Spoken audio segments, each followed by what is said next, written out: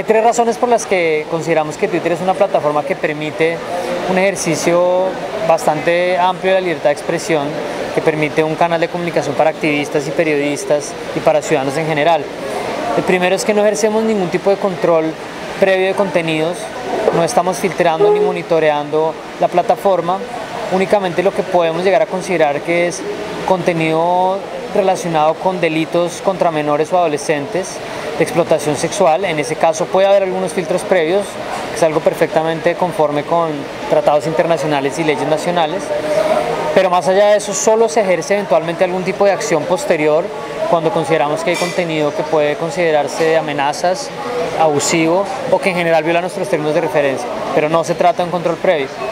En segundo lugar, protegemos e incluso fomentamos que haya cuentas anónimas en Twitter, lo permitimos, la configuración para abrir una cuenta en Twitter es bastante sencilla, una persona con un correo electrónico puede abrir una cuenta en Twitter y el anonimato consideramos no, no solamente es importante para activistas, para defensores de derechos humanos, para personas que quieren exponer casos de corrupción o irregularidades en sus respectivas entidades y que no quieren ser descubiertas, sino también permite, por ejemplo, el humor, las cuentas de parodia.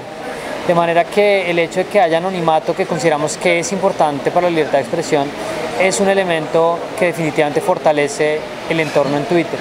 Y el último es la privacidad. Protegemos la información de los usuarios, cumplimos con las leyes, pero nos damos, digamos, pelas para que nuestros usuarios sientan que está protegida su información.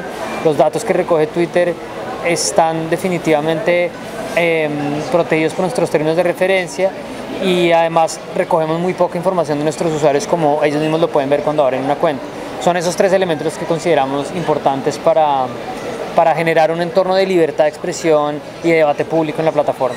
Por Twitter pasan alrededor de mil millones de tweets cada dos días, 500 millones de tweets diarios. Y la gente tiende a hablar mucho del abuso y de lo que puede llegar a ser nocivo, pero en general la experiencia que tiene la gente en Twitter es tranquila, es agradable y funciona. Pero siempre te vas a encontrar, como en una ciudad también o como en otro entorno, contenidos que no te gustan o cosas que pueden ser agresivas.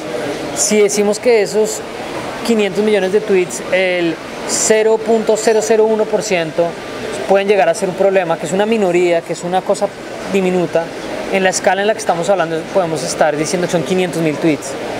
De manera que esa es la escala que nos enfrentamos y ese es el tipo de reto con el que trabajamos.